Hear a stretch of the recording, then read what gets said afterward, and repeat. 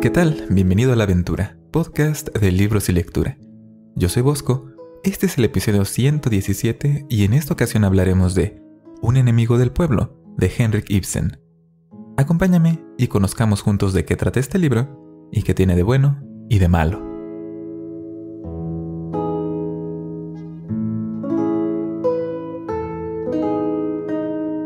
Hay ocasiones en las que deseo hablar de un libro que me gusta mucho, pero que no es particularmente popular. Es decir, a final de cuentas estoy creando contenido con la intención de que otras personas lo escuchen, y con un poco de suerte que encuentren algo de valor en él. En realidad, es más fácil lograr que una persona escuche un episodio de la aventura si éste se trata de un libro que le interese a esta hipotética persona. Y si no escucha el podcast, pues no hay oportunidad de motivar a esta hipotética persona a leer. Esto es más sencillo si el episodio se trata de un libro bien conocido. Pero al mismo tiempo creo que es importante platicar de libros que no son tan populares, pues eso ayuda a que sean más conocidos y diversifica las opciones que tenemos para leer. Es un pequeño dilema que tengo siempre que elijo un libro y que quería compartir contigo. Eh, y porque además, el libro del que hablaremos esta semana también plantea un dilema. Más emocionante que este, creo. Este libro es Un enemigo del pueblo, del autor noruego Henrik Ibsen. Es una obra de teatro que fue escrita durante 1882 y estrenada en 1883. Ya hemos hablado antes de una obra de este autor en el podcast, en el episodio 26 en el que hablamos de Casa de Muñecas. Si bien estas son obras de teatro, que sin duda están pensadas para ser mejor apreciadas al representarse en un escenario, esto no impide que las puedas leer como cualquier otro libro y disfrutes de ellas. En la última ocasión ya mencionábamos que este autor tenía un estilo naturalista, el cual también está presente en Un enemigo del pueblo. Y retomando el asunto de la popularidad de los autores, aunque Henrik Ibsen es uno de los autores noruegos más célebres de la historia y es altamente apreciado en el mundo del teatro, creo, y puedo estar equivocado, eso sí, que no es tan famoso como otros autores que asociamos más fácilmente con la palabra clásico de literatura. Pero de todos modos, me gustaría que más personas lean este autor o asistan a presenciar obras escritas por él. Así que, para ayudar a esto, empecemos hablando de qué trata este libro. El protagonista de nuestra historia es el doctor Thomas Stockman. La historia inicia con su esposa, cenando con el señor Billings, un asistente en el periódico local, y mientras ambos esperan que de un momento a otro llegue a casa nuestro protagonista, y también el señor Hofstad, el editor del periódico local. Así que podemos intuir con estas personas invitadas en casa de los Stockman que nuestro protagonista seguramente desea publicar algo en la prensa. Se escucha a alguien llegar a casa, pero no es el señor Hofstad, sino es el hermano del doctor Stockman, quien, por cierto, es el alcalde de la localidad, o burgomaster, porque este es el sur de Noruega de finales del siglo XIX y así se le llama a este personaje. Nosotros le diremos alcalde porque burgomaster en realidad me parece que suena gracioso. Decíamos, el alcalde parece sorprendido de que los Stockman estén comiendo carne, ah, porque pues está acostumbrado a que sean pobres. Ah, lo cual es una observación curiosa que haga una persona cerca de la familia de su propio hermano. Pero Mientras está en esto, llega el señor Hofstad y confirma que está en casa de los Stockman por asuntos de negocios. Negocios de la prensa. El doctor Stockman es en realidad un columnista frecuente en el periódico del señor Hofstad, uno de corte liberal. Y el señor Hofstad se encuentra en esta casa el día de hoy para discutir su más reciente artículo del doctor Stockman el cual se dice que tratará sobre el valor medicinal de los balnearios que muy pronto se van a reabrir en el pueblo por la temporada vacacional. El alcalde se entusiasma de escuchar esto porque los balnearios, según nos cuenta, son muy valiosos no solo por sus propiedades medicinales, sino porque han ayudado a que el pueblo crezca económicamente. Al parecer, los balnearios son instalaciones que atraen a los turistas y todo su delicioso, delicioso dinero. Supongo que son como ir a la playa para los noruegos, una cosa así seguramente. Eso sí, el alcalde se siente un poco resentido de que el mérito de los balnearios se lo lleve su hermano. Sí, bueno, fue el doctor Stockman quien se le ocurrió la idea de ponerlos, pero fue el alcalde quien los puso en marcha. Mm, pues es un poco de rivalidad fraternal la que nos estamos encontrando. El caso es que el doctor Stockman llega por fin a casa, acompañado de un invitado suyo, el capitán Horster. Nuestro protagonista, ya instalado, le cuenta a su hermano, el alcalde, lo maravilloso que es tener un empleo que le permita comer carne más seguido. Ah, después de todo, había pasado mucho tiempo viviendo en la pobreza, pero todo ha cambiado con el puesto que su hermano le ha conseguido en los balnearios. Hasta se puede permitir algunos pequeños lujos. El alcalde, por lo pronto, está más interesado en el artículo de su hermano, pero este le dice que aún no está listo, que tiene que esperar para saber su contenido. El alcalde insiste porque trata sobre los balnearios y este es un tema que le interesa mucho, pero el doctor Stockman se rehúsa a darle más detalles. El alcalde, indignado por la negativa de su hermano, se va enojado de la casa. Ah, bueno, esta relación de hermanos no se ve tan saludable que digamos. Eh, bueno, eso y que el director del periódico insinúa que el alcalde se fue porque todos los invitados en casa de los Stockman son liberales. Y eso no sienta nada bien al hermano del doctor Stockman, que está muy presionado porque ya viene el periodo de elecciones y su ideología no es precisamente muy liberal que digamos. Están en esta plática política los invitados cuando llega a casa la hija de los Stockman. Ella es maestra de escuela y ha terminado su jornada laboral. Pero lo más importante de la llegada de la hija de los Stockman es que trae el correo, en particular una carta que el doctor Stockman ha esperado por semanas. Nuestro protagonista la recibe, se excusa con sus invitados y muy emocionado se retira a leer con calma la carta. Y poco después, regresa aún más emocionado, anunciando que tiene grandes noticias. Nuestro protagonista cree que ha hecho un descubrimiento muy muy importante. De acuerdo al Dr. Stockman, y apoyado con los análisis que ha encargado hacer, el famoso balneario, tan célebre por sus propiedades curativas, es en realidad un montón de repugnantes pozos infestados de contaminantes. Todo indica que las tuberías usadas en los balnearios fueron enterradas muy profundamente, lo cual las ha hecho entrar en contacto con los desechos de las curtidoras del pueblo, lo cual ha tenido como resultado que el agua se contamine y se convierte en un foco de infecciones. Lo cual explica por qué el año pasado tantas personas enfermas andaban en el balneario. No era porque ya tuvieran su salud deteriorada, es que los balnearios las enfermaron. Noticia de primera plana, escándalo y todo lo demás. Y no menos importante, esto demuestra que el doctor Stockman tenía razón sobre cómo estaban colocando las tuberías, y ahora todos, incluido el alcalde su hermano, tendrán que aceptar que tenía razón en sus opiniones. El señor Hofstad está más que dispuesto a publicar en el periódico el hallazgo de Stockman. Sería un golpe demoledor para los conservadores y podía dar un revés a las elecciones. El doctor Stockman se siente muy satisfecho de sí mismo está convencido que por fin ha hecho algo para ganarse el respeto de los habitantes de su pueblo. Pero en cuanto se publica su hallazgo, las cosas empiezan a tomar un giro negativo. No solo es que hay personas que no creen para nada en lo que ha encontrado el Dr. Stockman. No, lo peor es lo que le hacen saber a nuestro protagonista poco después. Algo con consecuencias terribles. El alcalde le hace ver a su hermano que si insiste en que los balnearios se tienen que cerrar y remodelar, esto arruinará por completo el pueblo.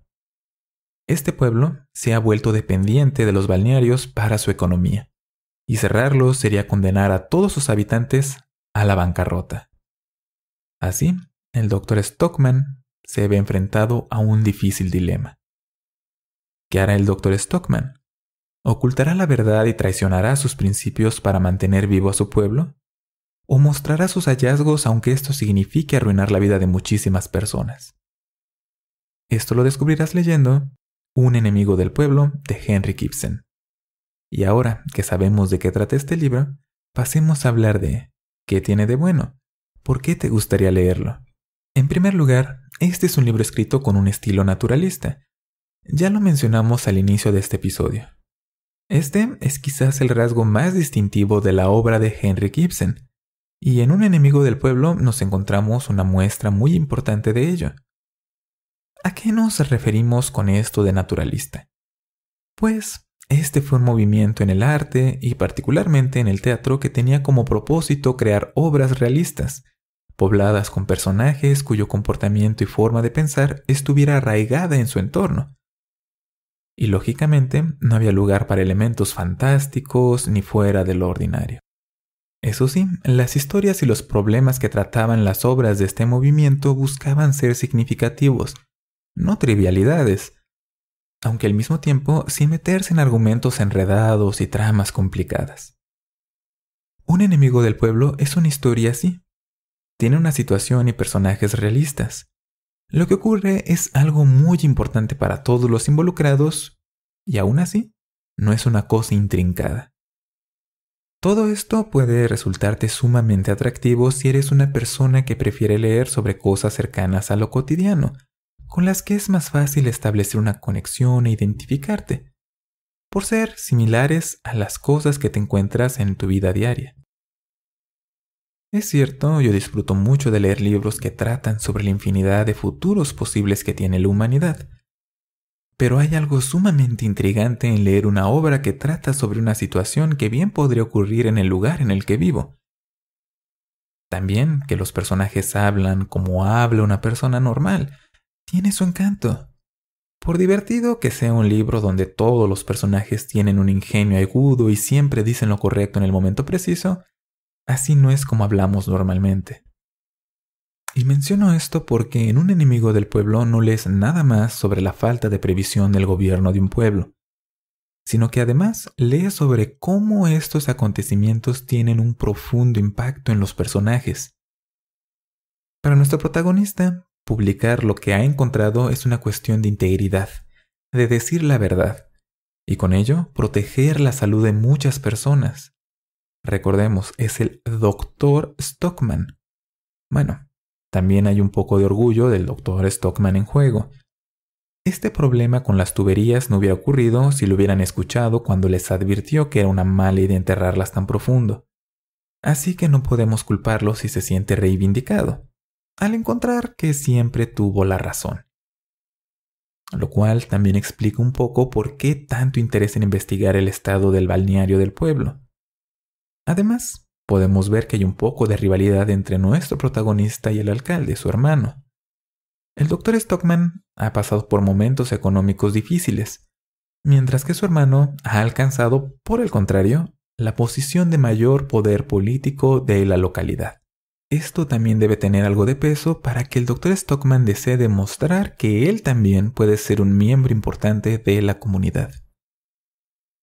Sin embargo, si sigue adelante con sus planes de declarar que los balnearios más bien deberían llamarse aguas negras de la muerte o algo así, lo primero que logrará es destruir la economía de su pueblo. Esto haría que los habitantes de esa localidad tuvieran que sufrir las mismas dificultades económicas que él ha vivido, y que no extraña en absoluto. Es decir, sería la causa de sufrimiento para familias inocentes que nada tienen que ver con la razón por la que los balnearios son peligrosos, pero que sus ingresos dependen de que funcionen bien. Todas estas consideraciones son originadas por un planteamiento muy sencillo. Un hombre obtiene información delicada. ¿Qué hará con ella? Lo que trato de compartir contigo es lo sumamente gratificante que es leer una historia como la de un enemigo del pueblo, en la que algo pequeño es explorado con toda su profundidad y todas las implicaciones que tienen para los personajes involucrados, que además todo es presentado con honestidad y sensibilidad. Los personajes son complejos. Tan solo por poner un ejemplo, el Dr. Stockman tiene a la vez la enorme virtud de querer hacer lo correcto y de ser muy honesto. pero también es testarudo e ingenuo en cuanto a las consecuencias de sus actos. Su hermano, aunque puede parecer un villano por la manera en la que los amigos liberales de nuestro protagonista hablan de él y porque quiere ocultar los hallazgos de su hermano, si nos ponemos a pensar, también tiene un lado bueno. Le dio un trabajo a su hermano que le permite darle de comer dignamente a su esposa y a su hija. Y que se oponga a revelar los peligros del balneario no es por pura codicia, es que realmente eso destruiría al pueblo que es su hogar, en donde está su propia familia, amigos y, bueno, todo lo que quiere en el mundo. Y este es solamente el inicio del conflicto que se nos presenta en este libro. Conforme avanza la obra, la cosa se va volviendo más y más tensa, y las consecuencias de lo que decida o no hacer se van haciendo más intensas. Además, se involucran más personajes que tienen sus propios intereses y motivaciones, lo cual agrega profundidad a la situación planteada en este libro. Por ejemplo, se involucra aún más a la prensa. ¿Te hubieras imaginado alguna vez que todo lo que hemos platicado pudiera haber sido iniciado porque alguien instaló mal la tubería de un balneario? Por si fuera poco, como un enemigo del pueblo es una obra de teatro, esta es una lectura ligera. Puedes empezar y terminar de leer este libro en una sola larga tarde de lectura, Así que no tienes que apartar mucho de tu tiempo para conocer esta obra de Henry Gibson. Y como ya dijimos muchas veces, hasta creo que a este paso las palabras natural y real terminarán por perder un poco de sentido, este libro intenta mostrar las cosas tal como son, de manera natural. La forma en que está escrito, por lo tanto, es muy accesible. No tiene ni lenguaje rebuscado ni enredado y al contrario, es muy fácil de leer, porque los personajes hablan de manera natural. Por último, este es un libro que pertenece al dominio público, y ya sabes lo que eso significa. Lo puedes descargar de manera gratuita y legalmente de diversos sitios de Internet. En la descripción de este episodio hay un enlace para que no tengas problemas para encontrar este libro en formato electrónico. Pero nada en la vida es perfecto, Así que pasemos a hablar de qué tiene de malo este libro. ¿Por qué no te gustaría leerlo? En primer lugar, esta obra puede llegar a darte la sensación de que es un episodio de un programa televisivo de drama legal. Ya sabes, en esos programas donde los protagonistas son abogados y cada episodio trata de un caso emocionante, que además, de algún modo, saca a la superficie algo personal de los protagonistas. Exagero un poco, pero es más o menos la misma fórmula en general. Claro, un enemigo del pueblo fue escrito a finales del siglo XIX, así que es más bien un precursor de todo este tipo de historias. Eso no cambia que si a ti no te llama la atención algo de este estilo, pues este libro tampoco te mantendrá atento. También como es lógico, si lo que buscas es algo alejado de la realidad, un poco más fantástico, con elementos un poquito más extraordinarios, pues este libro no tiene absolutamente nada de eso. Nada. Así como el realismo y naturalismo pueden ser el más grande atractivo de este libro para algunos lectores, también puede ser lo que a ti, en lo personal, sea lo que le quite todo lo interesante y haga que no te dé nada de ganas de leerlo. Tenlo en cuenta. Y seguro estás esperando la sección Era el siglo XIX, así que es hora de los estereotipos, la cual acompaña prácticamente todos los episodios de este podcast en los que hablamos de libros escritos en el siglo XIX. Pero no hay mucho de esto en un enemigo del pueblo, salvo que todos los protagonistas capaces de tomar decisiones y que tienen algo de peso en el argumento son hombres no hay nada muy, muy ofensivo que digamos en este libro. Lo menciono aquí y no en la parte de los aspectos positivos del libro porque es una excepción interesante. Y también para darle un poco de variedad al podcast. Así que, en resumen, ¿recomendaría un enemigo del pueblo de Henry Gibson?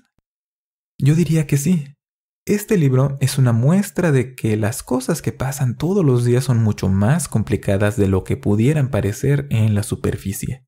Todos los días tomamos decisiones que pueden cambiar para siempre el curso de nuestras vidas y también afectar a la vida de las personas que tenemos cerca de nosotros. Leer un libro como este nos ayuda a entender mejor esto y con ello, comprender mejor el mundo a nuestro alrededor. Y no quise ser muy evidente al respecto, pero la verdad es que me encantan las obras de Henry Gibson. Por lo que me encantaría que más personas leyeran este autor. Tan solo por eso, dale una oportunidad. Y esto es lo relacionado con el libro de esta semana, Un enemigo del pueblo de Henry Gibson. Ahora la parte final del podcast.